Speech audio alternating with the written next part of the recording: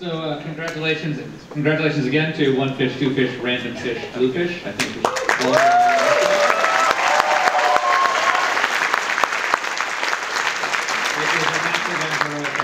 And now let's turn to a description of the hunt overall from top to bottom. Uh, starting with the overall design philosophy of the hunt from our esteemed director and master of all puzzles, Erin Rhode.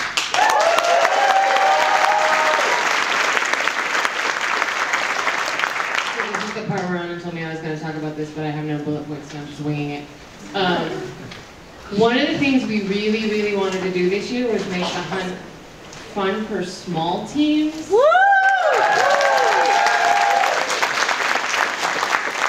we built that entire 24 puzzle MIT round where all of the puzzles were meant to be a little more straightforward. We had some pretty strict test solving rules that if our test solvers couldn't do it in under two hours, we had to make the puzzle easier.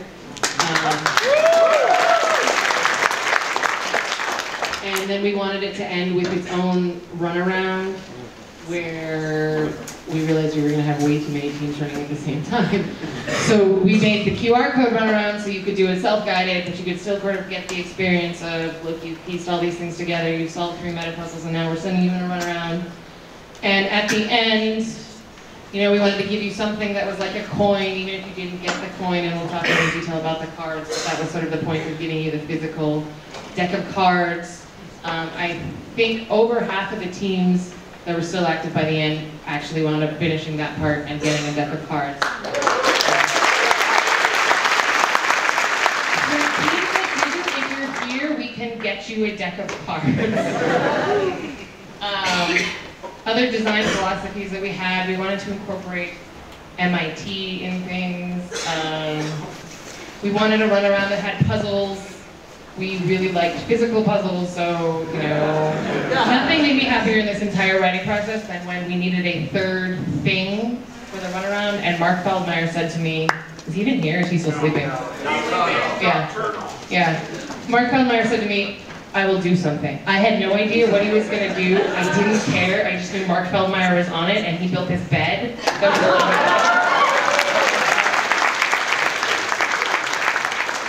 I um, the other thing we did is we, the way the rounds opened themselves was kind of, you could get a lot of rounds at once, but we made the way you get puzzles, and maybe this was a bad decision, was harder because we had balance between if we floodgated on rounds, we had to sort of tighten the puzzle release on puzzles so that we didn't floodgate with you too many. I don't know how well that worked out, but with different rounds, different characters, and more people got to sort of get the flavor of the whole hunt faster, even if they didn't get to all of the puzzles the same rate. I don't know. Do we have other design philosophies? Terminate this slide because I don't know what I'm saying anymore.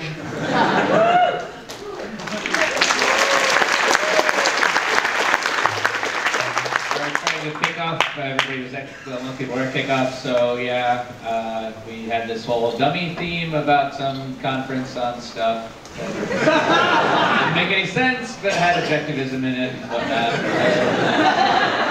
And TLDR of this is John Galt hates puzzles, what a jerk. But we love puzzles, and then the Wonderland is leaking into MIT, and you have to go find the Cheshire Cats Cheshire Cat's friends to get them to tell you what's going on. And so you- then you solve puzzles. And so now the overall structure back here.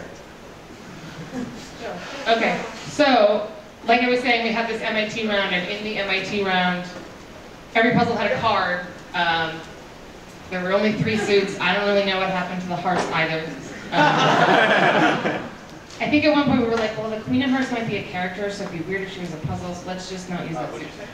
Um, so each, each suit. I know I've done around this Each suit was its own mini meta puzzle, but it wasn't. They were all mixed in, so it wasn't really round. Um, but they were meant to be more straightforward and easy, like I was saying. Um, and then every round after that was a Wonderland character or characters. Um, there were in MIT, you had the Dormouse, the Caterpillar, and Tweedledee and Tweedledum, who were the three people you were going to meet here. And then those all connected to a Wonderland hole where the Beast, which if you didn't get that far, you found out was actually Alice, because, I don't know. Terrence. I guess the Jabberwock's name is Terrence. Mr. Terrence. There's somebody else that's, there's another smaller that's Terrence, and that's Mr. Terrence. Yes? Um, Mr. Terrence is not the beast, it was Alice. So the first three Wonderland rounds were all areas where Alice had been and had ruined things, and you had to fix the thing, and then you got an object. This is our likes objects. Um, and then after that, you went into Wonderland Center rounds, which by the way, we kept calling the Wonderland Hole rounds Wonder Hole rounds, which was just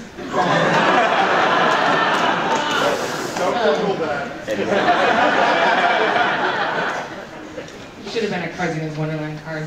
Uh, so the Wonderland Center rounds were areas where Alice had some sort of weakness so that she couldn't destroy the round. And so then the final run around was to combine the objects you got from the one round with the weaknesses in the other to eventually lead you to this logic maze thing where you used objects that, uh, well, actually the runaround got you different objects that you traded in. Okay, we're gonna get there. I haven't slept much. Okay, so the MIT rounds, all of the cards were laid out in a map of Hugh. Actually, I went into Codex's headquarters and they had drawn the maps twice because they realized it wasn't nearly as asymmetric as they thought originally or something. And they had it nicely in triangles like this. Um, so I designed it like this, and then we said we had to put it on the MIT map, and I said, oh, that doesn't look anything like how I pictured it, but okay. Um, so they were all laid out like this. We sort of tried to stack so that you got spades, which we thought was the easiest um, of the metas, which was the one with, well, we'll get to what they are, but we got spades first, and then more clubs, and then more diamonds in the center. Um, we were guessing which ones you would sell first, but I think we guessed wrong. I think more people guessed. We got Dormouse first, but I think more people guessed Tweedles first over Caterpillar. Um, but so there were three metas, and then when you unlock the meta, you unlock the next one. But this was a graphical structure, which it's been a while since there's been a hunt with a graphical puzzle structure. We wound up having fun, but this is where we got to use solve a puzzle, unlock the connected ones, and so when you release, you release from the inside. So this is the Dormouse meta. All of the answers in the Dormouse rounds were um, collective nouns for various animals. So it's a mischief of mice, a shrewdness of apes. Shrewdness is spelled wrong on that side. A watch of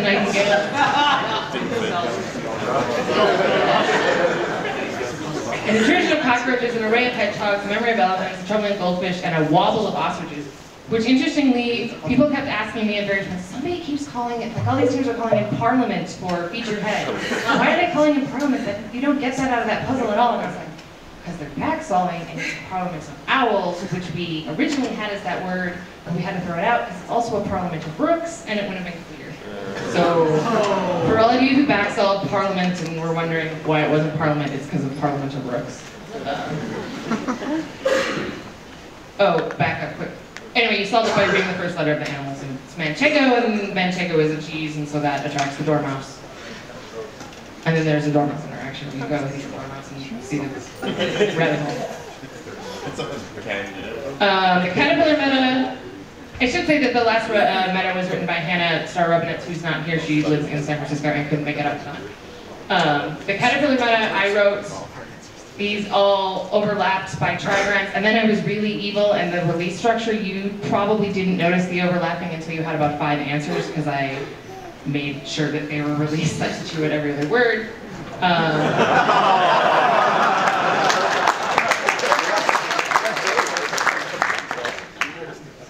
which might be make that solve slower than Tweedle.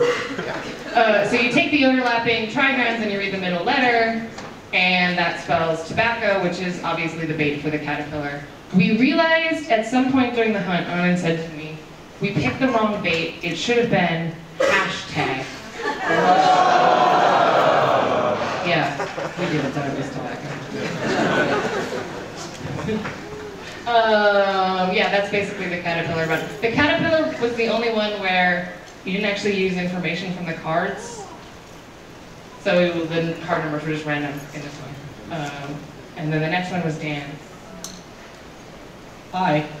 Um, so the, uh, as you saw, the, the Dormouse one involved animals because the Dormouse is an animal, and the Caterpillar had things linked together because the Caterpillars linked together. So for the Tweedles, we thought there should be two sort of twosomes.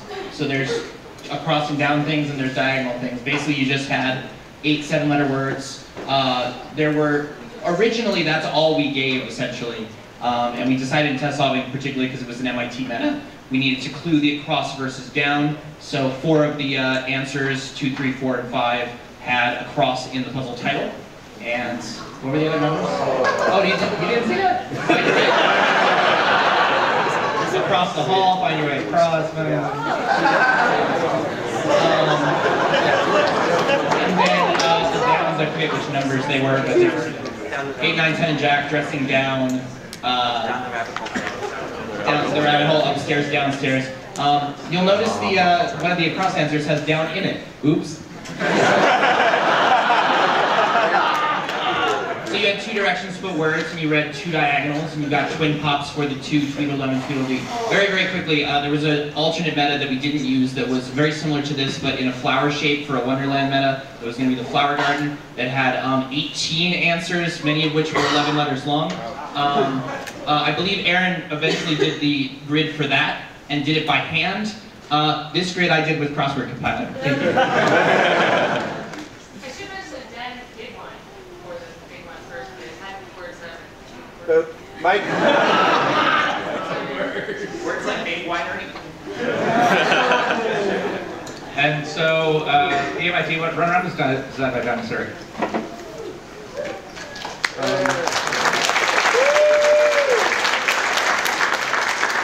so after so after you guys had gotten all those metas, you probably noticed all initially that you know the cards are on the map.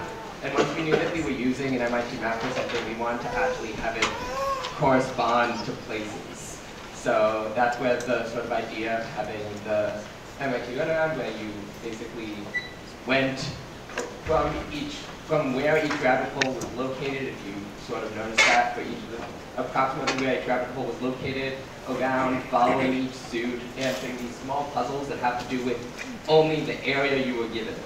Um, so, yeah, and so each one had a poster with a QR code on it. The, the QR code was, the QR code could only be the QR code could only be opened once you, for the, only once you had reached that puzzle. If you had not yet reached that puzzle, it would tell you you had been eaten by a grue, I think.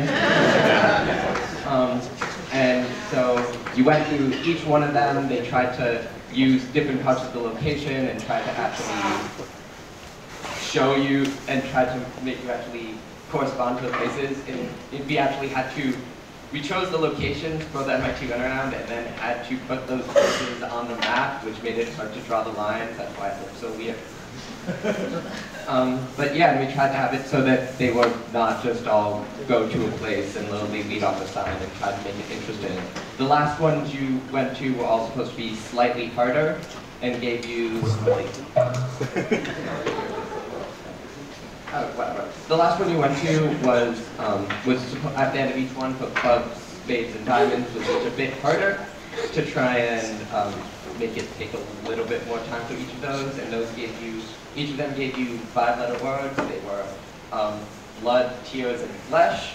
Mostly choosing choosing those three just so it could be really annoying if you got two of them and try and guess blood, sweat, and tears. Um, and then you could and then at that point, you came down here and uh, hidden within the depth, you um, you got to open up a chest whose locks, who had like word locks that you opened with those three words, and that got you the Vorpal sword to go attack the Jabberwock, who then of course told you, no, no, no, please don't attack me, I'm also open. And then handed you the second playing card to help you find out who the real beast was. That. This is actually mostly Aaron's idea, but I did the implementation of the card arrangement. Um, once you had the, the cards, if you look through it, um, many of the cards were normal, but 24 of the cards, the ones corresponding to the ones in the MIT round, uh, had these Jabberwock symbols on them, on the edges, and also they had uh, Jabberwockian words on them, some of which were uh, more in Jabberwock than others. Uh, Mim- Mimsier is a little pushy. Bor- I, some Borogoves are whimsier than other Borogoves. and sadly, we realized during the hunt we could have used Rection or Be Noisy there, and it would have been. So um, what you did, uh, you had to find. There's one way to move, put these into a nice four by six rectangle and match all the colors up. And then once you have that, also every puzzle answer for that corresponding card puzzle in the MIT round is the same length as the Lewis Carrollian word and uh, matches it in exactly one letter. So if you read them, you get those letters for each card, and if you read them in this order, you get, I believe the beast is Ms. Alice Liddell. Plot twist!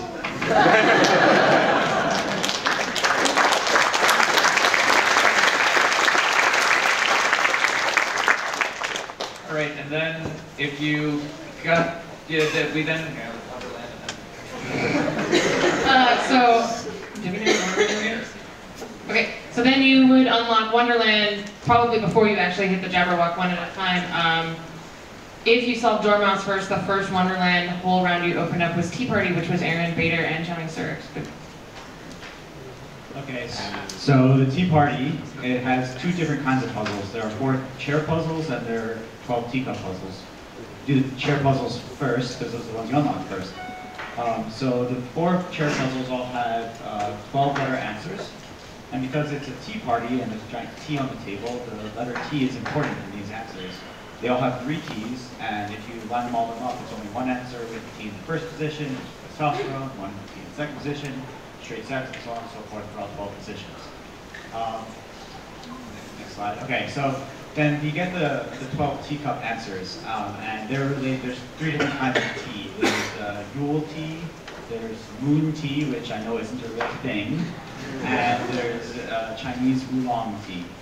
Um, and so because the theme has to do with Mad Hatter of time, each of these corresponds to some unit of time, but three different sets of unit of time. For example, the, the uh, Yule tea that Dormouse is drinking, one of the answers is Suzanne Crough, who is one of the Partridge family, so that's the partridge in a pear tree relates to the holidays of Christmas, and the, uh, the moon teas relate to the, the farmer almanac moons, and the Chinese oolong tea relates to the 12 months of the Chinese zodiac. And again, there's 12 uh, it, it goes from 1 to 12 for each position. So the way you solve the puzzle is you match up, you go to the next slide. Um, you match up the, the position, uh, if you read the flavor text, it tells you for each time the Mad Hatter was thinking that someone said something. So, and then you can find where that person was sitting when they said something. So, for example, for the Dormouse again, you see that uh, he corresponds to the number one because it's the first day of Christmas, and testosterone has the T in the has to in the first position, so the Dormouse was sitting there.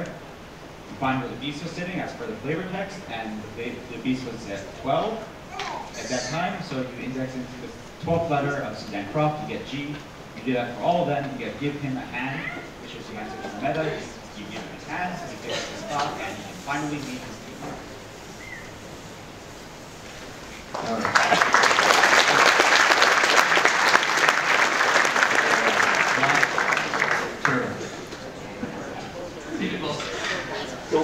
Yes, so uh, I wrote the mock turtle. Um, Aaron helped, uh, and so the the um, the mock turtle's problem is that because of the beast coming through and also the general craziness of all the teams coming through, uh, he lost his spot at the tea party. There's no room at the tea table for him, and so uh, he's lonely and sad and has to make do with cardboard mock friends.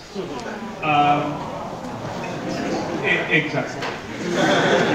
Uh, so in the meta, you get a, uh, a bunch of clues with blanks in them, and each clue also has two uh, numbers at the end. Uh, if you once you get the puzzle answers, you put those in the blanks. There's uh, really one one-ish place where each thing makes sense. So, for example, James Bond, creator and family, are Flemings. Snoopy's airplane in reality is a doghouse, and referring to the flavor text says things about bits and pieces of other creatures, the mock turtle, and also mock versions of his friends. Each one of the clue answers is exactly two letters off from a Wonderlandian creature or character. So Flemings becomes flamingo, doghouse becomes dormouse, etc. Uh, yeah, I would. Um, you take the letters from the original creatures that have been replaced, you put them in the order given by the numbers, and it tells you how to make more room at the tea party, at the tea table, namely make edits to your table schema.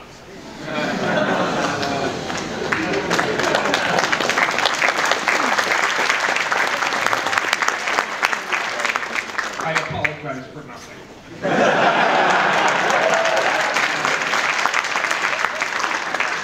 I, I do apologize for fish food can going to fish equipment. That, that's all. Uh, a couple others, uh, because people wanted me to point it, point them out. Uh, what Wormtongue does before being shot is kill the wizard. Bill the lizard. Um, and also uh, in the yes, uh, in the novel Alice in Wonderland, the Hatter is just the Hatter, but he's commonly known as the Mad Hatter. So focus of downfall meme works either way. Great. And now for, for everyone's favorite Wonderland whole round.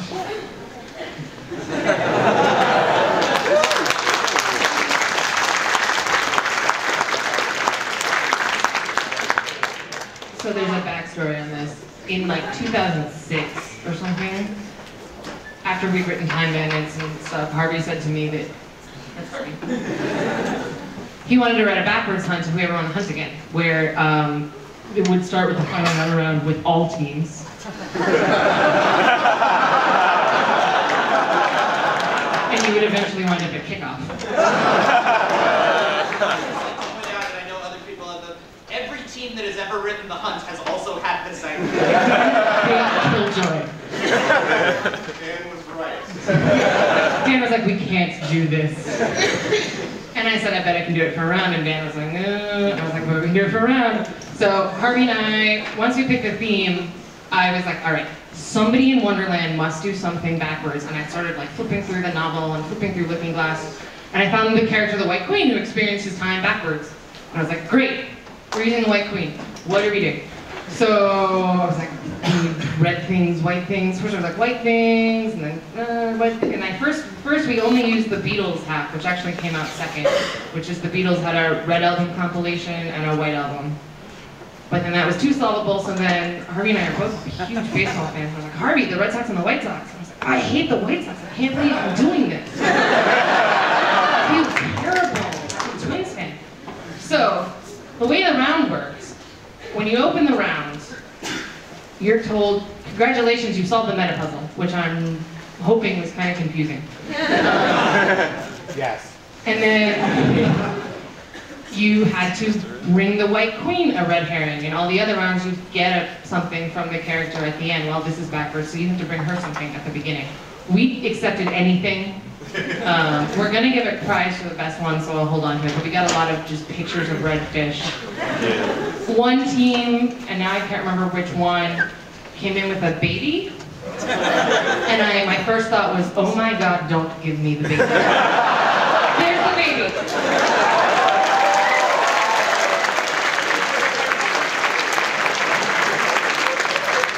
And then, and then they actually handed me actual herring, which I love.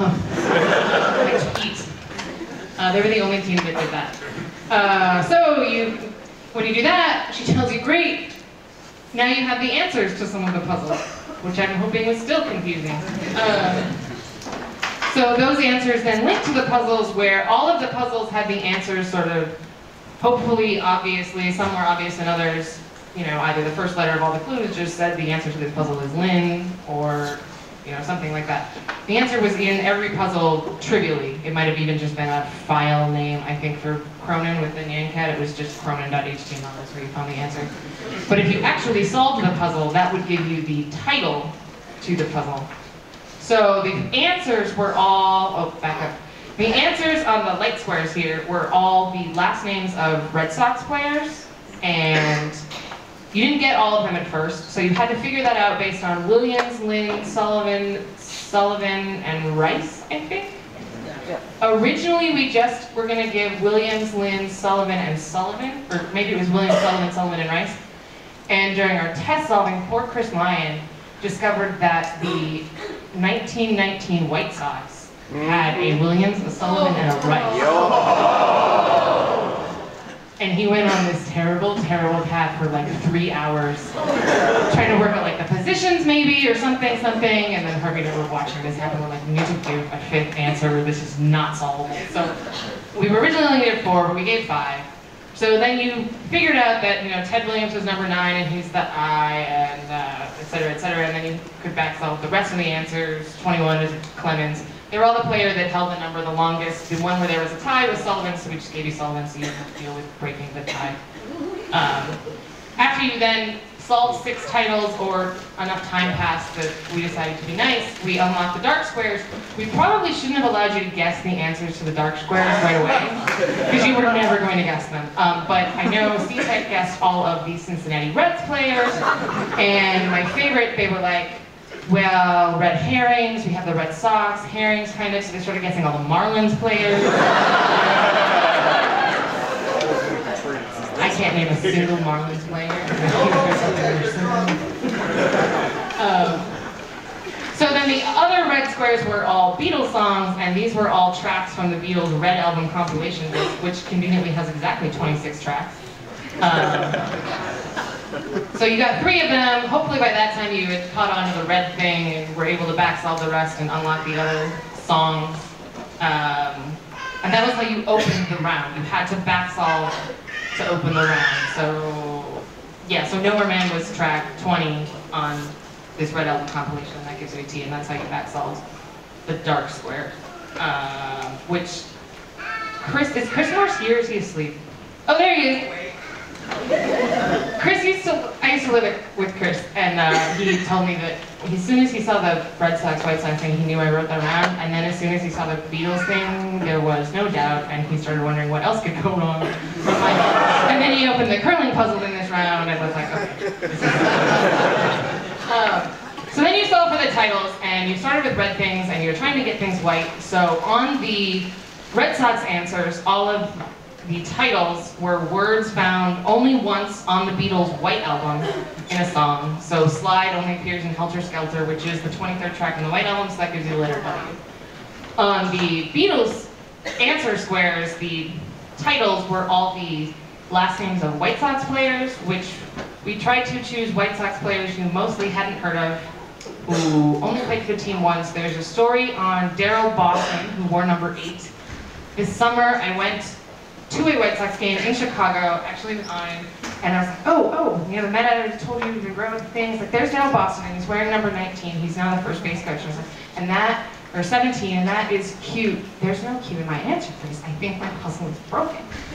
but we decided he only ever wore eight as a player. You can barely find his number anywhere in the internet, so hopefully that didn't throw anybody off. But um, yeah, so that's a, so then you basically did the same thing in reverse with the white things. You took the track of the white album or the jersey number of the White Sox player, and then if you read, uh, starting, in, yeah, snake from the bottom left, it spells clean with ivory soap, and that is how you fix the white queen problem, which is that all of her things are red.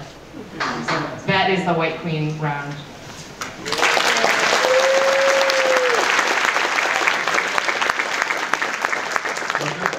Uh, the other thing is, I believe, uh, now that you know how it works, and we, uh, the one word that appears only once in the lyrics, there's a song, Why Don't We Do It in the Road? And I believe uh, our answers for that were watching and road. So those are the only two conceivable answers. So uh, if you back solved it, you know, congratulations. I told my dad about this round, and he was like, are you using Carlton Fisk? No. Because Carlton Fisk was number 27 for the Red Sox and 72 for the White Sox. You can't do this without including Carlton Fisk.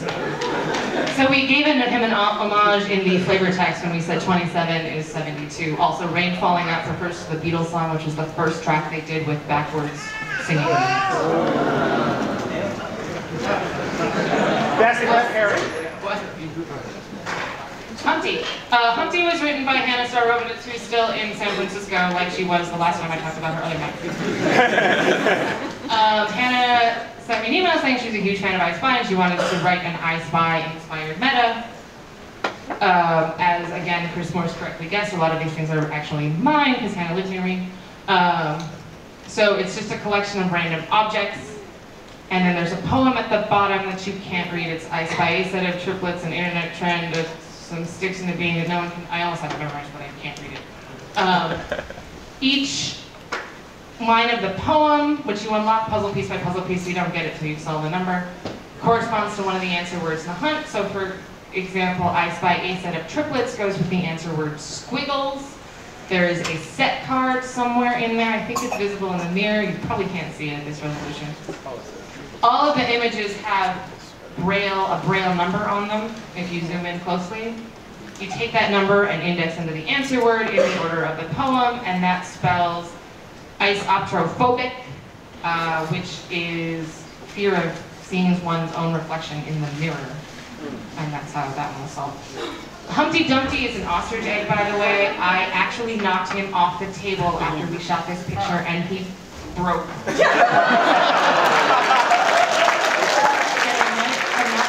I might have thought it was a good idea to try to super glue them back together in case you had to rephotograph it, and it turns out you cannot put the pieces of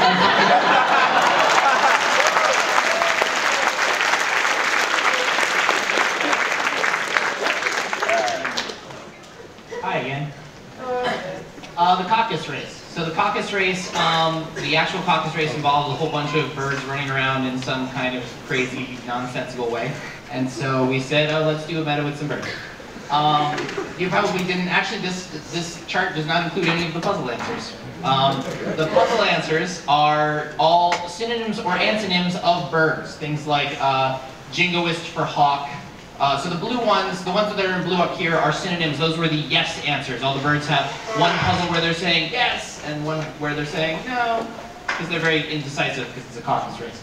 So uh, hawk is jingoist, albatross is uh, millstone, engulf, derrick. Uh, there's other ones. And um, the, then the no answers are all hopefully uniquely uh, antonyms of birds. Uh, uh, valiant was chicken, um, cuckoo is sane, cardinal is secondary, uh, things like that. Sorry if I'm giving away puzzle answers, but it is wrap up. And then the idea is, uh, so you get these pairs of birds. Uh, this is not the puzzle order, and in fact, within the things you don't know the order. The idea is every pair of birds you get out of a matched pair of puzzles has a unique pair of enumerations, and there should be exactly one row in which you can place them. Uh, you'll notice one of them is a five and a five, so you don't know which one to put on the left and the right. That's why there's a plus and minus given for that one, so that you know which is which. If you do this and you take the marked numbers and move them to the side, the yes side and the no side, and move down, you get allergic to down, which is why Alice does not want to be anywhere near the caucus race. Now, funny story. Um, the original version of this, uh, we mentioned that the Humpty Dumpty meta had uh, the, the picture given to you in pieces. Uh, when I originally proposed this, the ballot was actually going to be split into four pieces, and you're going to be given one after solving a certain number of puzzles, solving a certain number of puzzles. Uh, I may have blatantly stolen this from one of the Zyzzlvarian metas, but let's not go there. The, um, uh, and uh, somebody figured out, oh, wait, wait, but that makes so much more sense for the Humpty Dumpty meta, so that it's broken into pieces, so we should do that. Uh, so what do we do with the ballot? Well, maybe we'll give it to them after they solve a certain number, or maybe, I don't know, let's just give it at the beginning. I mean, it's not like then We're Up All Night to Get Lucky is going to solve this meta with 5 out of 14 answers.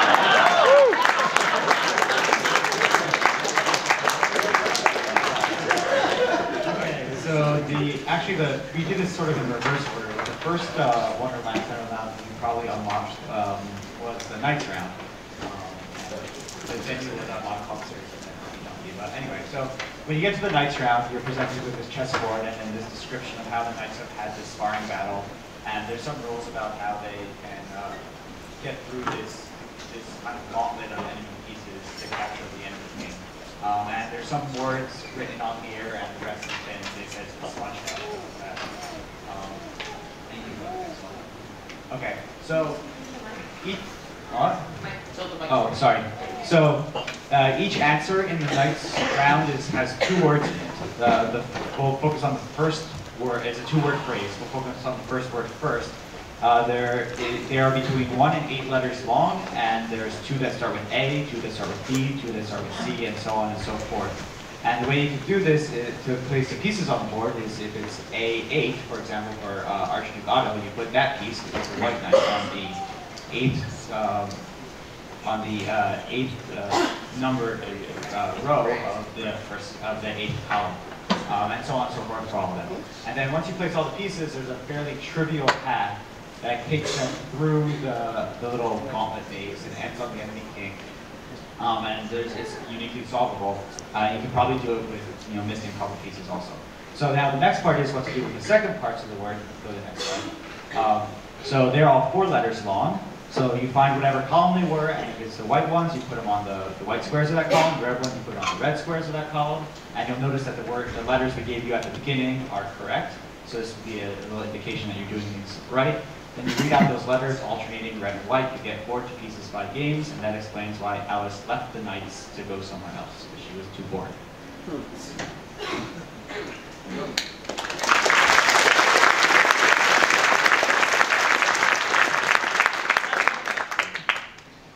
Bands. All right.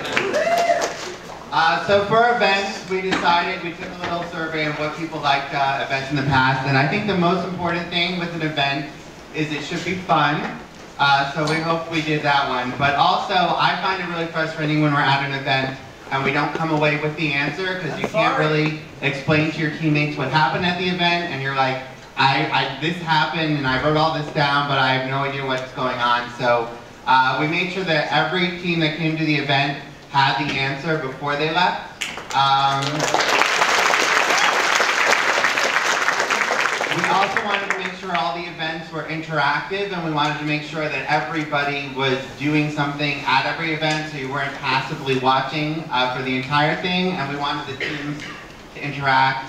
Um, yeah, so I think, oh, and we wanted them all to be under an hour and I think they almost all came in at about 15 minutes, so.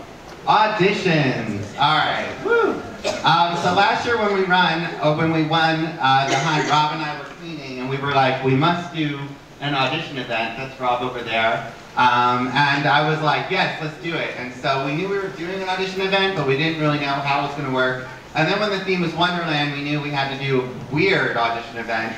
Um, so that made it a little easier.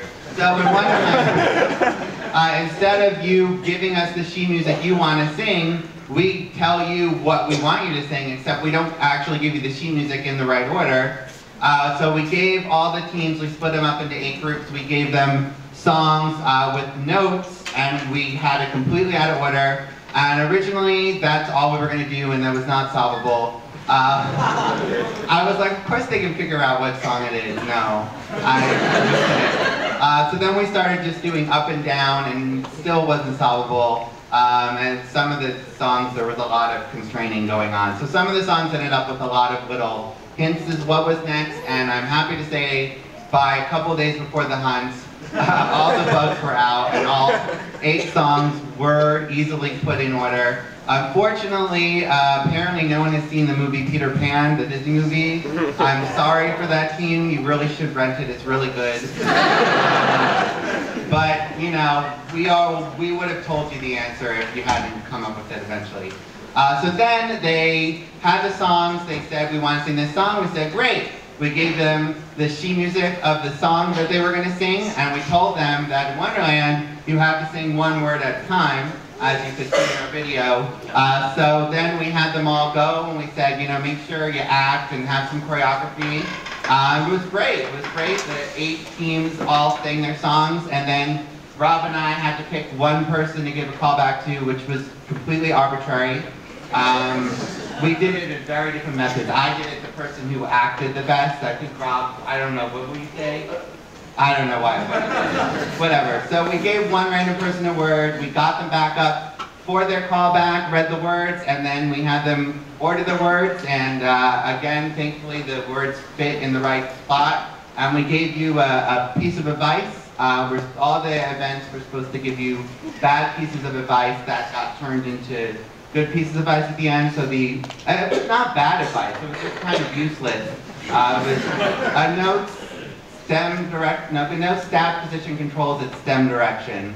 Uh, and it's true, it's true. So I thought it's, it was a staff, we used the word staff, right, because it was move of flowers. All right, he's saying move it on. All right, so the second event, was the second event? Uh, second event was the Lobster Quadrille, which will be presented by Harvey. All right. Uh, hi everybody. Okay, so basically, uh, we really knew that we wanted to do a dance party at some point, and it's you know it's Wonderland, so we knew we wanted it to be the Lobster Quadrille, and then we proceeded to write an entirely separate lobster dance party event puzzle about every six, uh, about every 36 hours up until the hunt. so uh, basically, uh, we bought lobsters for every single team, as you know. Uh, and we had these lobsters in a box, yes. Uh, and so we were trying to brainstorm how to do a lan- uh, dance party with lobsters. And uh, on in here, uh, started dancing and came up with the phrase crop style. and then we decided to do a uh, shellfish themed dance party. We designed a very intricate puzzle which involved taking the answer, writing out blanks, and then, you know, erasing the letters, just giving you the blanks, and then, you know, giving you letters. Thus, you were able to solve the puzzle by reading the letters, which were the answer. Uh, team showed up. We, uh, you know, this is a full lobster dance card. Uh, each person got a segment of the dance card. We asked you to form lobsters, uh, right claw, left claw, thorax, abdomen, antenna. Uh, excuse me. Uh, yes, we will issue a lab about that. And so uh, you then, you know, form up, you do the dance. Uh, the dance instructor certifies you by writing the letters uh, associated uh, with the dance, and then you go around to all the instructors and get the phrase. Did I miss anything? Scooby. Scooby. And Oh, yes, and Anker wins uh, mad props for, you know, being the heroic crop. Where is he? Heroic crop nom dance leader. Uh, next, Arts Against Wonderland.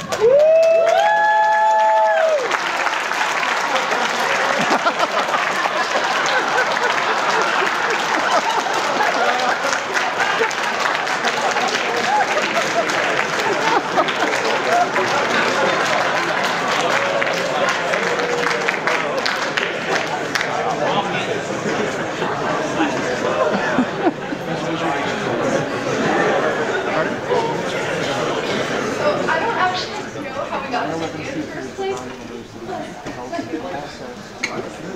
Anyway, um, I somehow ended up in charge of um, putting this after they had all the decks together. In a pre, before we had the Lobster Quadrille, it was a um, croquet event run by the Queen of Hearts. So we had this idea that the King of Hearts was just really, really embarrassed by his um, wife's behavior and wanted to just give you a break, but not tell his wife. And somehow that stayed even though the Queen of Hearts event disappeared. Um, we ended up with 360, three- 500 card decks, or how many white cards we have? Whatever, Three- 300 plus white cards. Um, we ended up with way too many decks. And um, we tried to just get people to sit down and take a break, play the game, get an answer. This was more difficult than you would anticipate at a mystery hunt. but I think most people had a good time. So we curated the cards by, we just surveyed our entire team, and we were like, everybody just submit what you think would be a good white card or black card. It's just like Cards Against Humanity, which most of us have all played, but make it either Wonderland themed, MIT themed, or Hunt themed. And then we were trying to figure out how to make the cards, and I sent out an email, like, does anybody want to take points on making the cards? And uh, Scooby Cruise Line said he'd curate which cards to do, and then Josh Dillon emails and was like, hi, I'm one of the inventors of Cards Against Humanity.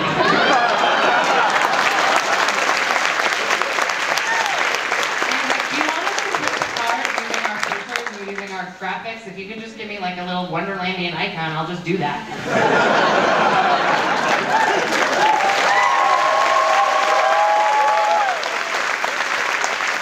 So the reason the cards look so awesome is because I had no idea. One of the creators of Cards Against Humanity is on our team. he had it done. Uh, When do they go on sale?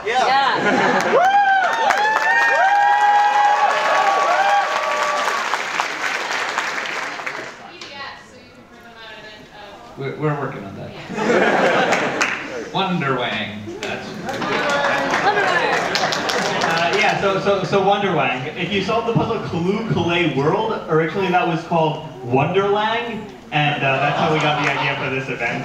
Uh, so, uh, if you've never watched the, if you've never watched the game show uh, Numberwang on YouTube, it's like a, a sketch comedy sketch.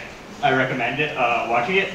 Uh, we wanted to have something that played off that, um, but just having people shout out numbers, it's surprisingly difficult to have a fun event. Uh, and, uh, from that. Um, so of course in Wonderland everything is a little different, so people shouted out words instead of numbers, uh, and there were several rounds, and in each round, uh, the correct words matched a rule for the uh, for the round. So for example, one was words that ended Y, uh, some of them were a little more complicated, like there was one where you have to add S to the beginning of uh, the word uh, to form another word. Um, and at the end, you came out with a, uh, we, gave you a list of uh, of words, and um, there was one word on that board that matched each of the rounds, and that's how you extracted your uh, answer, which was uh, any trip with no vacations blows. Sorry. Yes, that, that's important. um, but yeah, uh, it was fun. It was fast paced, uh, and I think, yeah.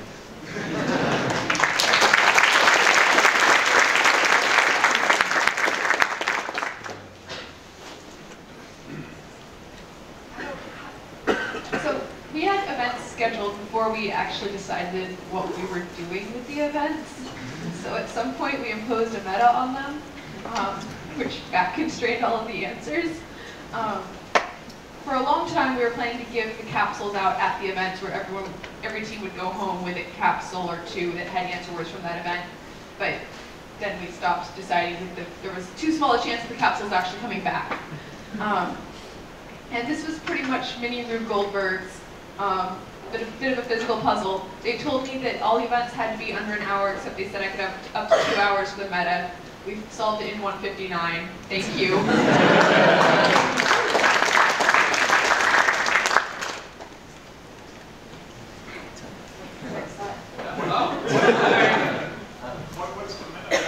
The meta answer was, oh, this was important actually for the runaround. Uh, White Rabbit has a watch that controls holes. Rabbit holes. Rabbit, rabbit there twice.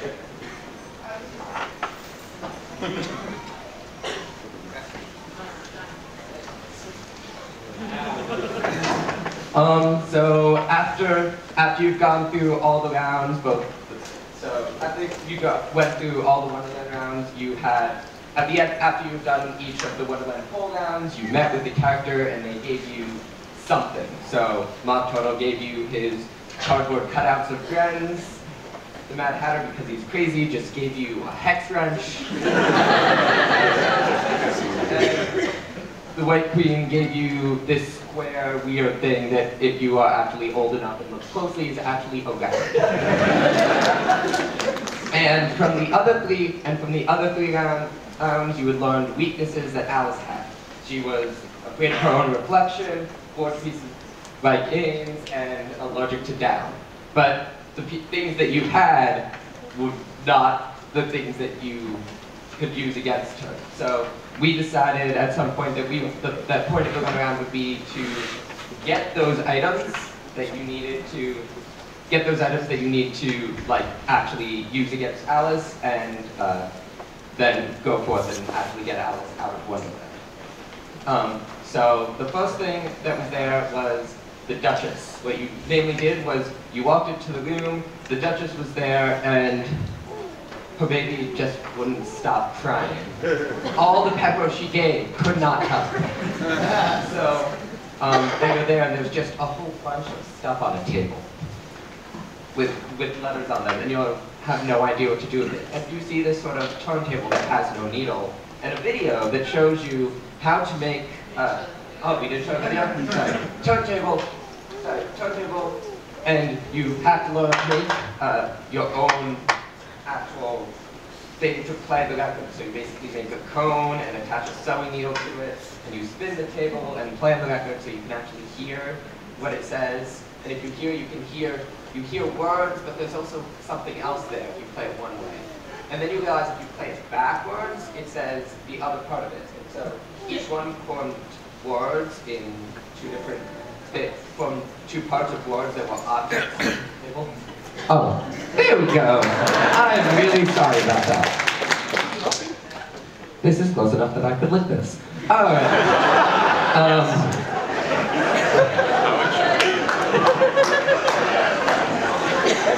so, so when you played, um, so when you played both forward and backwards, you find actual names of some of the objects that are like two parts of words. So there was there was like baseball. So base was said forward, was ball said. One of them was said one way, and when you played it the other way, it was said the other word for it.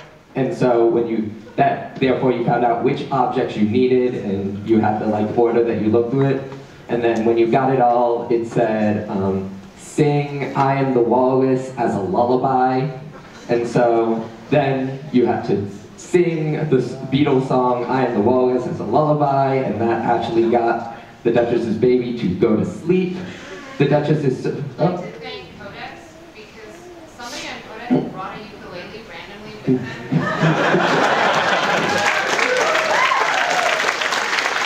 It's gonna be I am the walrus, and they start singing. I'm like, and as everybody else is figuring out that as a lullaby part, the guy with the ukulele is picking up the chords to I am the walrus.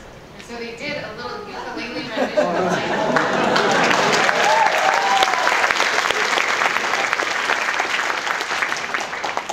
And the Duchess is so grateful of this, she allows you to take some object from there. And if you're smart enough to notice, there is a mirror. It's in fact one of the ones that, I know, I was showing the other side to show, it's actually one of the ones with a letter on it that was used for the answer.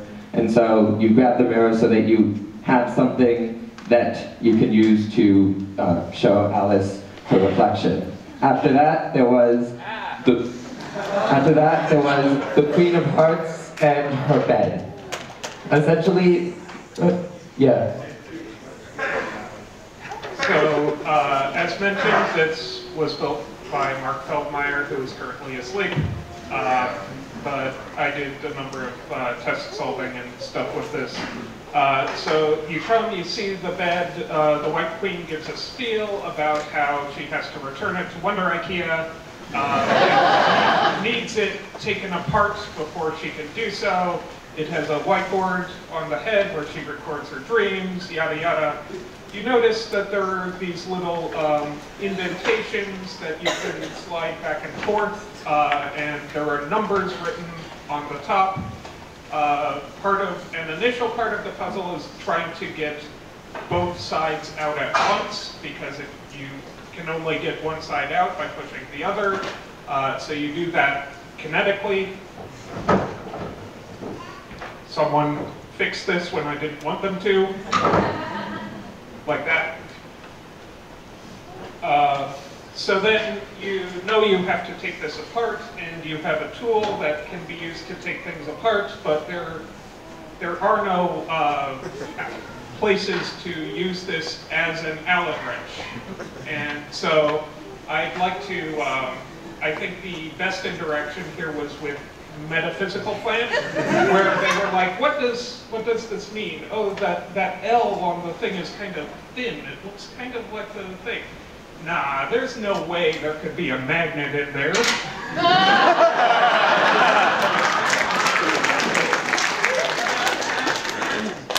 So you put the Allen wrench on the L, you move it to the arrow, and this disengages a magnetic latch.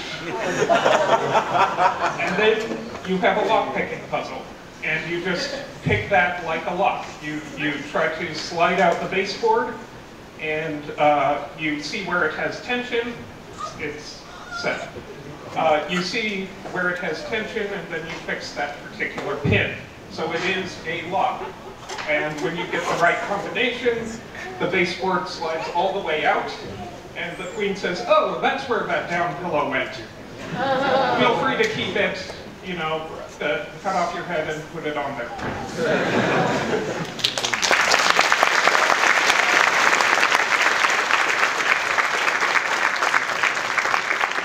And the final event was, the final part of it, the part of it was chess. So fairy chess, teams were presented with three boards uh, that had Nurikabes on them, uh, and a handful of polyominoes that went with each board. And they got from the mock turtle a bunch of uh, bunch of cardboard characters. And so the story there is that the lion and the unicorn are fighting for uh, fighting for the crown. They always play chess, and the lion always beats the unicorn. But this time, the unicorn has put the lion in mate one on every single board. The lion got so angry that he flipped the boards and took a piece from each board. So you have to reconstruct the boards by solving the Nurikabe and putting the polyominoes back on. And that sets up a chess puzzle. And you have your, you have, thank you, uh, your pieces from the, uh, pieces from the mock turtle uh, became fairy chess pieces on the boards with special Wonderland moves. Um, so teams had to figure out what the new move rules were. We gave them new, uh, new move patterns for, uh, three pieces, the sheep, the fish footman, and the walrus. And then based on that, you had to place uh, each of the three pieces on the right board uh, to help the unicorn. And then the unicorn is so grateful that he lets you take the black king, force him bring me on it, and becomes a giant black king that you can use later on. And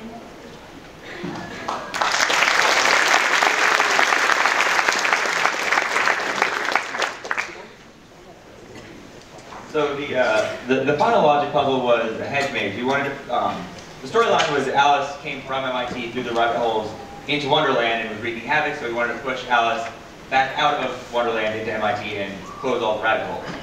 And so um, we basically had a, uh, an an idea for a logic puzzle that we needed to direct Alice through the maze out the rabbit hole, and we wanted to use these, these uh, three pieces.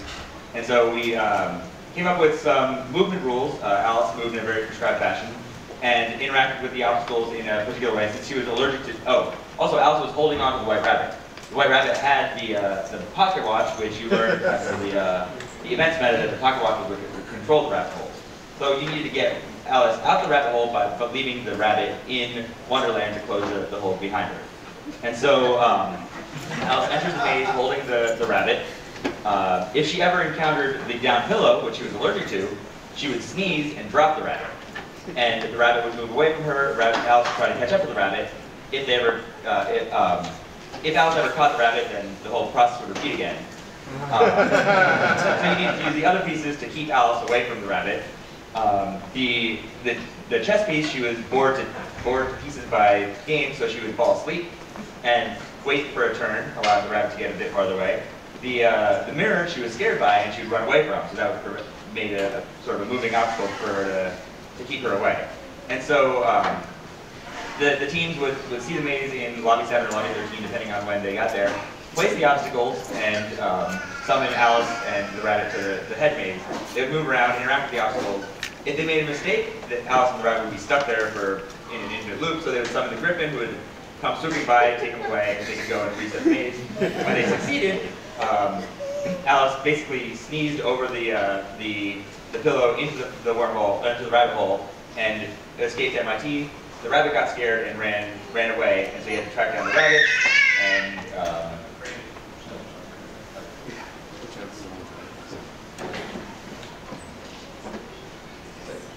Okay, I wrote this last part. Would you like to know when I wrote it? I wrote it around between around 6 and 8 p.m. on Saturday night.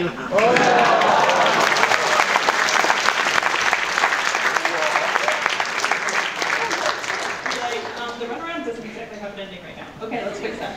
Um, so the rabbit is traumatized by being kidnapped by Alice. He freaks out and runs back through the wonderful. Back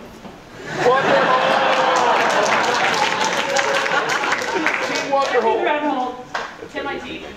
So the teams need to follow him back to MIT. So the teams go back to MIT too. Um, but where did the, the rabbit go? So the team's got a sheet that the rabbit dropped. At this point, it lists, it's very simple because they've already had to solve all of these extravagant puzzles. Um, it's just a list of all of the Wonderland Center puzzles with a number. You extract, using that number to extract the letter from the answer to all of the Wonderland Center holes, so we hope that you solved, solved enough of the puzzles. Um, you get the what is the exact phrase? Um, rabbit hides by Fairchild building tornado machine. Um, Random luckily knew exactly where this was and ran straight to it. Um, Lucky actually also had one person who knew vaguely where it was, um, and, and we got them there. Um, I don't, after that. Um, we kind of cut this for the, the later runarounds. Um, so this is in building 36, um, the mezzanine level, which is actually not on the MIT floor plans for building 36. Um, there's a little area where there's this mezzanine level underground, um, it's the basement, and you look down into the sub-basement, there's a balcony, and you can look down into the sub-basement. So when the team gets there, the rabbit is down um, below the team. And the rabbit says, we need to close the rabbit holes, but I, I'm so confused, I don't remember where any of them are. Um, you know, I can close them with my pocket watch. So the teams have to lead the rabbit back to, there are now four holes open at MIT. They need to lead them back to where they found the caterpillar, where they found the Tweedles, um, where they just had one in lobby seven. And then finally, the last one, they have to lead him back to the Dormouse, who was in the President's Courtyard. And I want to talk about the final So you get back to President's Courtyard, which is where the dormouse was. The white rabbit's excited. He's like, oh, it's the last rabbit hole. Thank you so much. Jumps through without closing the hole. Rhodey appears with John Galt, says, wait, wait, wait, we're not done yet. Take this guy too. John Galt gets thrown into Wonderland. At this point, everyone's happy because John Galt is gone. The Cheshire Cat's like, well, that's unfortunate that the White Rabbit left. Um, I'm sure there's something here that you can help close the rabbit hole with. Bye! Jumps into Wonderland. Uh, at which point, the team was supposed to search President's Courtyard to find this, which is a large watch. Um, the hands at the very top, it's written open, close. It was set to open, you moved it to closed, and you closed the rabbit hole and won the hunt. Just one quick story. Um, we had a script written for this, and the lines for Anand and I literally said Brody and Anand ad lib. So Anand just put his in his pocket, and when he ran through the rabbit hole, he dropped the script. And as soon as she said he's left something behind, like six people on Reddit. I had to jump in and be like, no, I swear that's not important. That's our script. The actual coin. Uh, Matt. Who, who wants to talk about the other?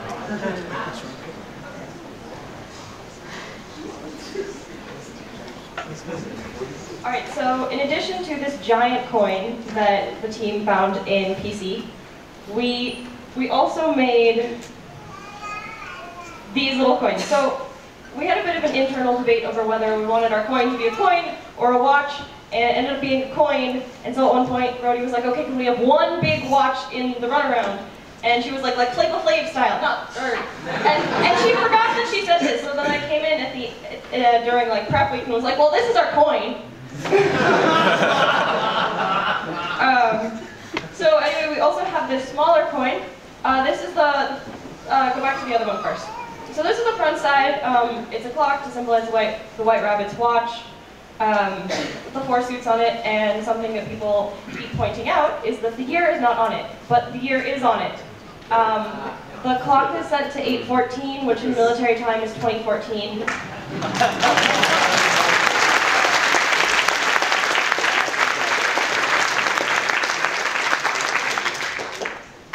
All right, you can go to the other side now. So the other side here in the middle, there's Alice looking incredibly grumpy that we took her out of Wonderland and sent her back to MIT. Um, and then there's an icon for each one of the rounds. At the top, there's the Cheshire Cat, who sort of starts the whole thing out. Then there's the three one, uh, Wonderland characters you meet in MIT, Dormouse, Caterpillars, Tweedles. Then on the runaround, you meet the Jabberwock. Um, and there are the three Wonderland whole rounds. Then there are the three uh, Wonderland center rounds, and then there's the White Rabbit at the end. Um, so that symbolizes all the things that you do.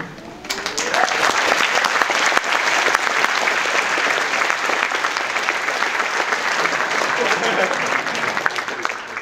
give a little credit, this coin was designed um, uh, largely by James here, partially by myself, and partially by Maya, who's not here.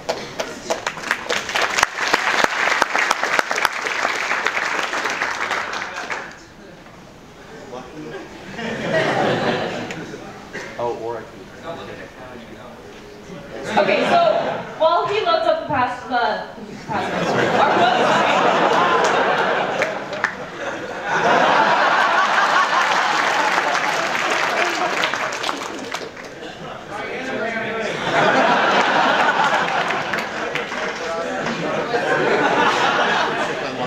Yeah, don't worry, our password is the entire text about text about this. Take a minute. All right, so we're loading this up. Um, well, that looks weird. Uh, so I can talk a little bit about art. Um, I was the art director for this year's hunt, um, and there was a lot of art because we got really into it.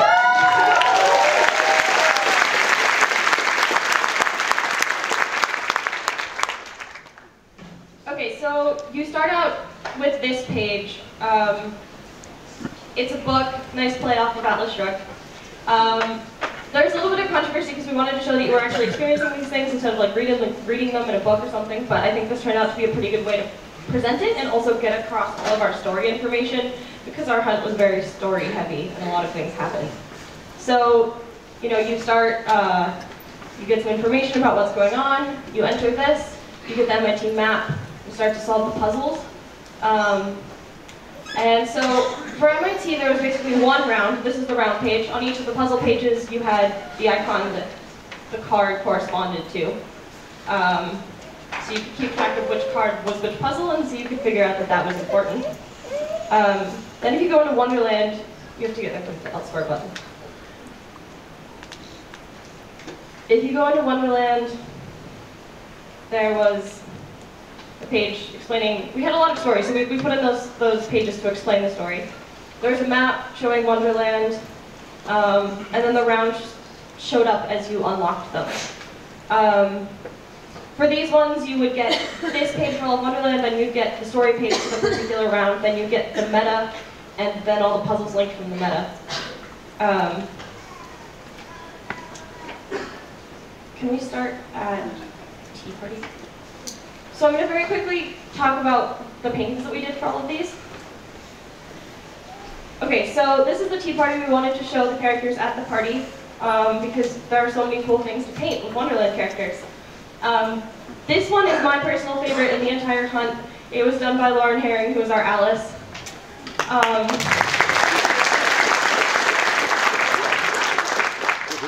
and I think it's really beautiful. Also, Jamie, who did a lot of our, our website stuff, like all of it, like put everything together and it's amazing. Um,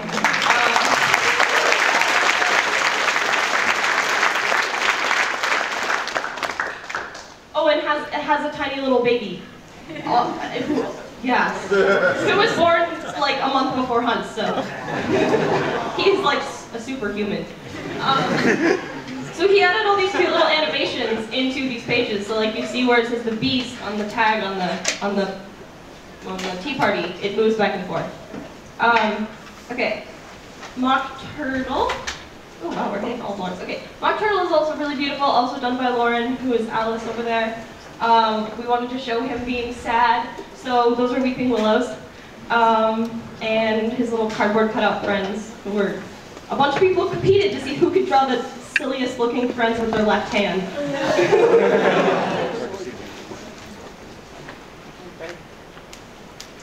White Queen. All right, so as you can probably tell, White Queen was Rhodey's pet round. Um, and we were all a little bit intimidated to start the art for this. And so I ended up doing it, and in case you can't tell, we literally traced her face and photoshopped it onto the White Queen.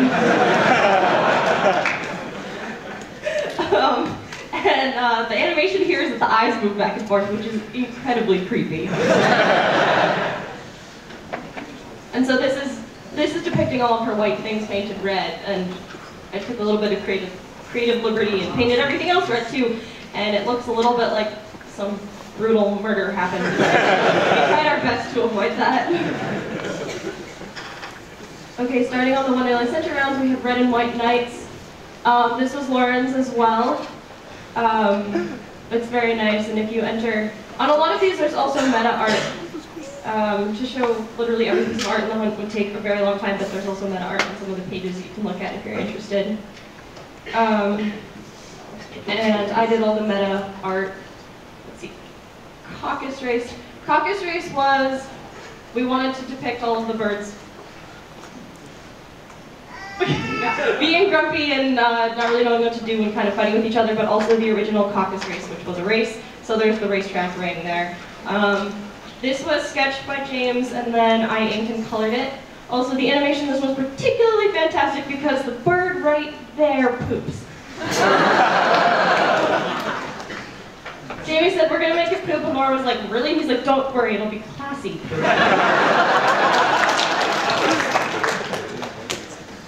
The last one is Humpty Dumpty. Um, Humpty was drawn by Hannah, whose name I really can't pronounce. Star Robinitz. She's also still not here. Um, but then I painted it. Um, yeah, it's, it's nice. The animation is the little, little candle flames going back and forth. Um, oh, right, the events page. Okay. The events page. Elsewhere events. Sorry. Got it. Got it, got it, okay. Our events page is a picture of Scada. I actually drew this before we totally had an idea of what was going to happen with the website, and then we were really sad because we were maybe not going to get to use it, and so someone came up with, alright, just stick it in the events page. um, the animation here is with the little like window does a thing, and it's kind of cute. Um, so I was going to talk about the coin, but I already talked about that. Um, the other thing is that I did costumes and props. Uh, so some people are up here on the stage wearing costumes.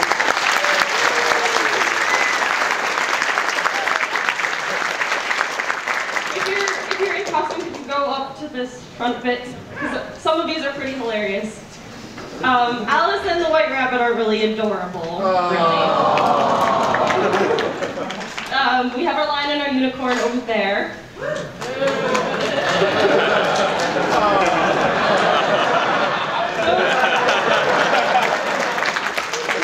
Those masks are pretty fantastic, although the unicorn turned out a lot scarier than we were hoping. It, it's, they smell like spray paint that we had to actually exile them from HQ and like set them outside the door because we couldn't handle smelling them. Um, we also have a Tweedle here, the King of Hearts, who, I don't know if all of you got to see him because he was at an event, but that's a pretty fantastic costume. Um, the Mad Hatter and the Queen of Hearts. And of course, uh, the, oh, the Mock Turtle head, yeah. And, The costume doesn't fit me. and uh, Terrence over there.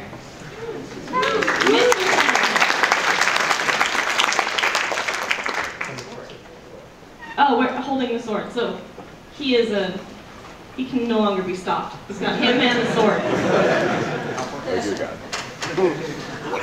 Okay, one thing I wanted to mention that never got mentioned actually, I think, is that uh, we made it mandatory to do all of the events and to get on the final runaround and find the coin, you had to solve the events meta, which means you had to go to all the events, and that's because we think events are important. Uh, right. Statistics. We'll go through this quickly because everybody's hungry and we have food for you in lobby 13. All right.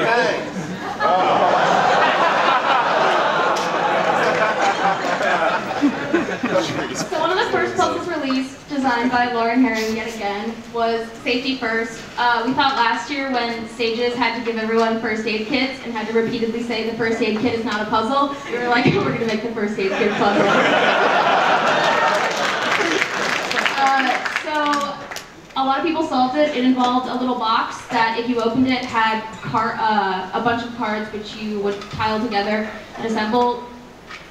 This was printed in a sheet and we used paper cutters to cut them. This led to two injuries, three, two very quickly, involving people cutting themselves with a paper cutter and thankfully having band-aids from the first aid kits.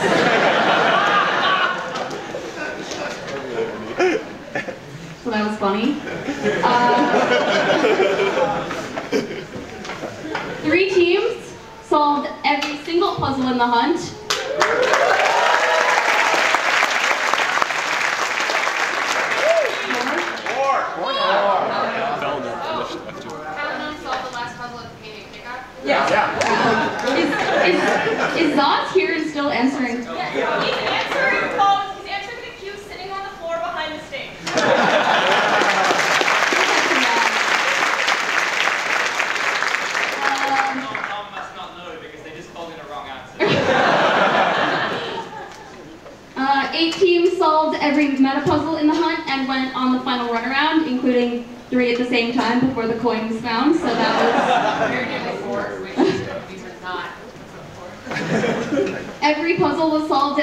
Seven times.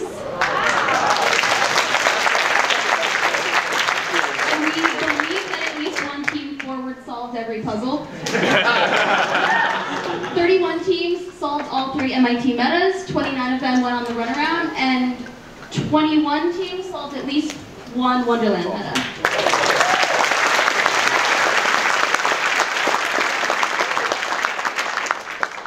Twenty-four solved the MIT Meta Meta. They Wow. got, they got the cards from the Jabberwock and pieced them together and found the identity of the beast. That's really good. So uh, here are some graphs, because what are statistics without graphs? This, um, this is puzzles released by team. If you look at the bottom, you can see where we put some releases for every team to kind of push everything forward uh, for the smaller teams. And uh, this one is submissions by team. See-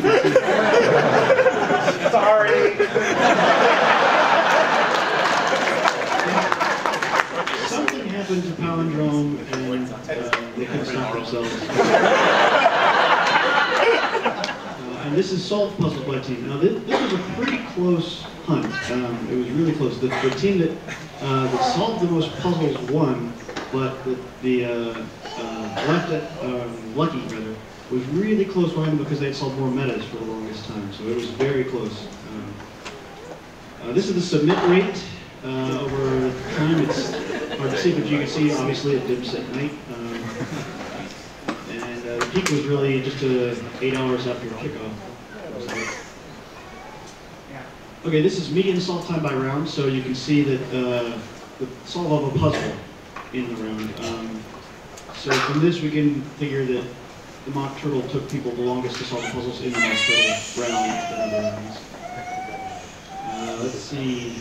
Yeah, this is how many puzzles you had when you solved the meta.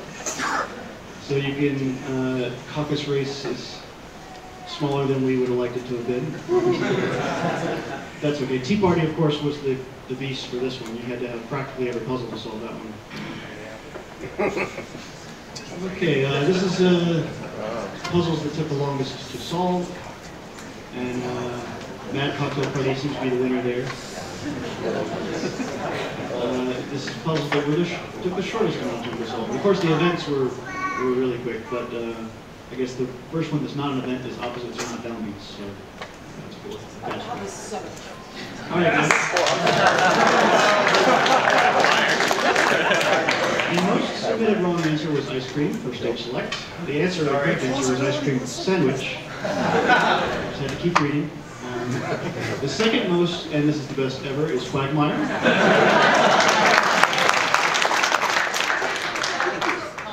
Yes. And this. Yeah, once you got Quagmire, it was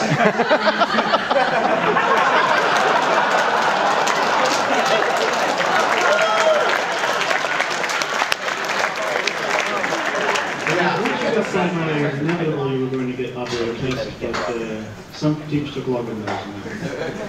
Okay. Okay, so there- there's some other uh, wrong answers that are funny, but can post them. Uh, GeoGuessr scores. Uh, some teams clearly took the, the GeoGuessr challenge seriously. Uh, and got uh, 32 something thousand points. And there's a tie for first place, by the way. Uh, so it must be the maximum score or something. Yeah, this is another puzzle where there was a sort of answer you could get that wasn't right, and uh, five teams got it. Took a while to get to.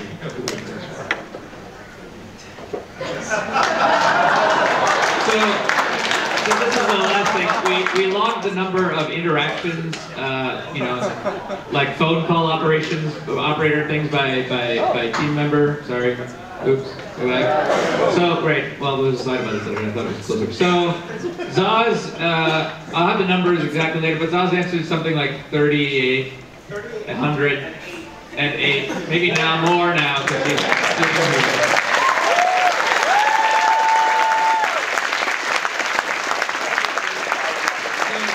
And we, called you about an answer. There's like a around one in five chance that you talk to Zaz.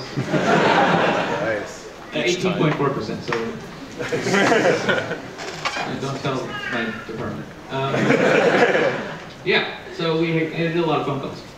Um, I guess we meant to have more on here. The latest solve, I guess now not anymore. As of when I was making these slides right before I wrap up, the Safer Sephiroth, which was solved at 10:58 this morning by test solution please ignore. Um, we have a few words. Yeah.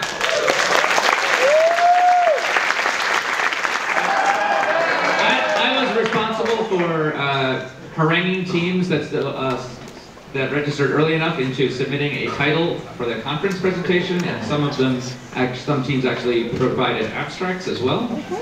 Um, given our theme, it is very hard to not give a prize to Frumious Bandersnatch for their paper entitled Proving the Meta-Existence of the Quasi-Jabberwocky via Subjective Ungravity Spheroids. We might post the abstract later. I don't think you want to read it now. A very close runner-up, and I think they should also be recognized, is Palindrome, who created a palindromic abstract when combined with their title.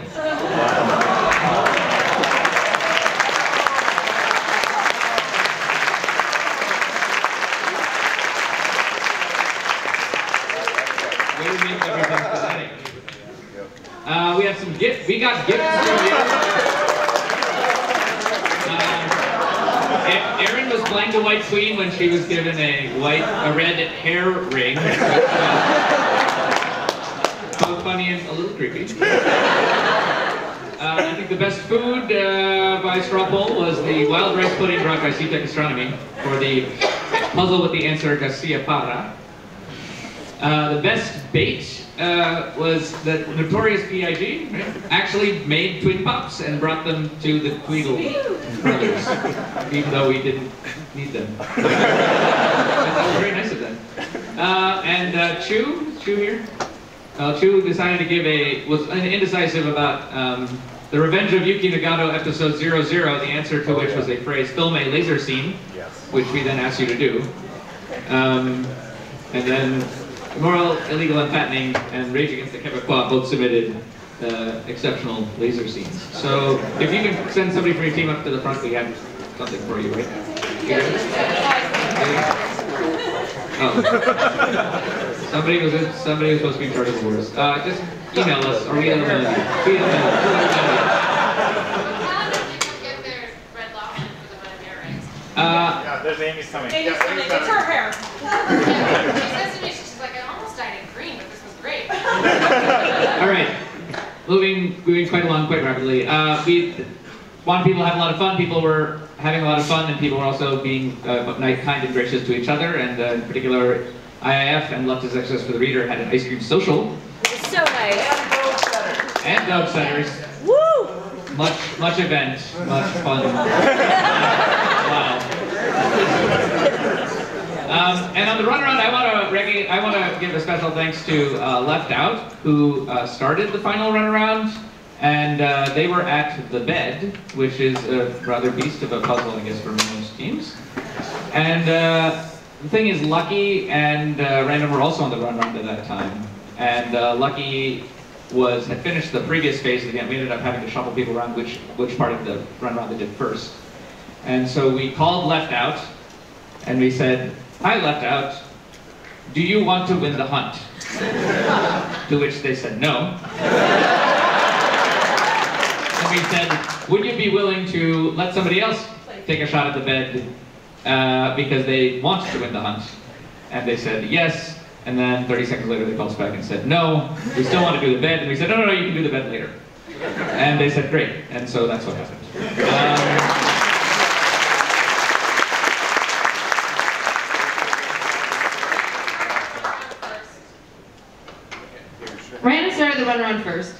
Lucky was right behind them and started the runaround. And then Harvey Jones started freaking out. But he had a plan, and we were going to execute the plan. Very slowly and methodically.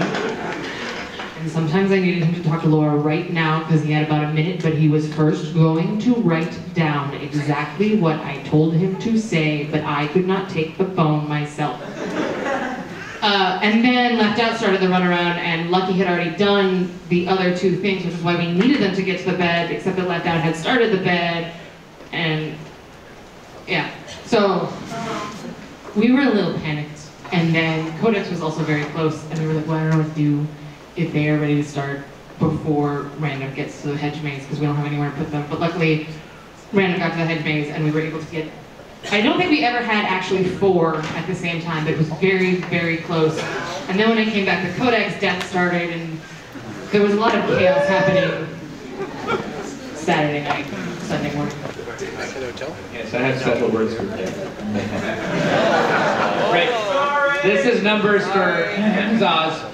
This is the total number of human interactions, phone calls we've placed to teams. Wow. Almost 21,000. Uh, thanks for your excitement.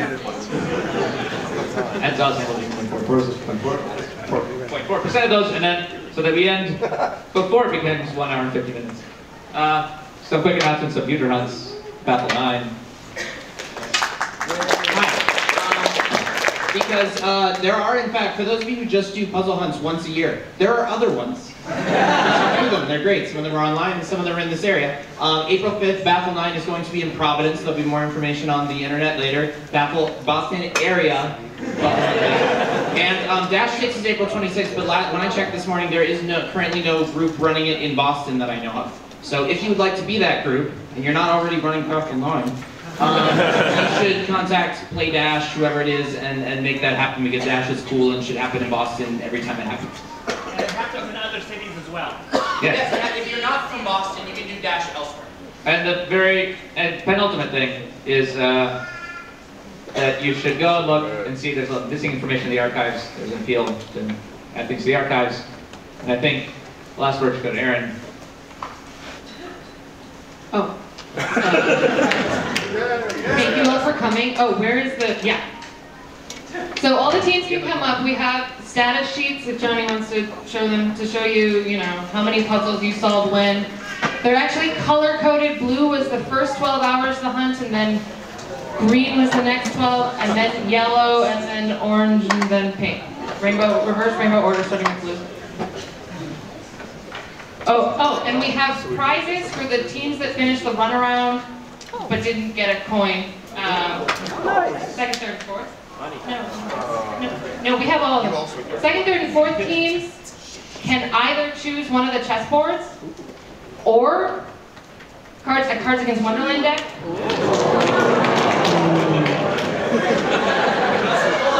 Just one per team.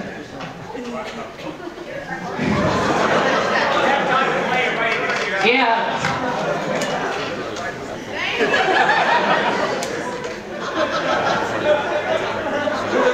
Uh, and then the fourth, fifth, sixth, seventh, and eighth teams can get what's left. Uh, so, what? Oh, the teams were Lucky, Left Out, Codex, Death, IAF, Palindrome, and Plant.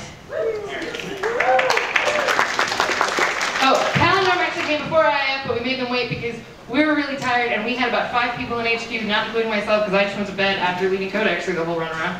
Um, and we apparently heard on the phone 25 people on their end cheering and happy and it was like, uh-uh. we made them wait until the afternoon to solve it so we could give them a real runaround. Yes. So here's the board. Here's the hunt to once again beat Dix. I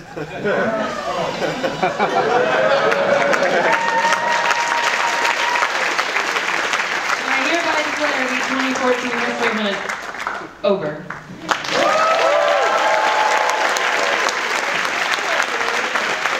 From Lobby 13, we have food for you at Lobby 13, provided by Foodler.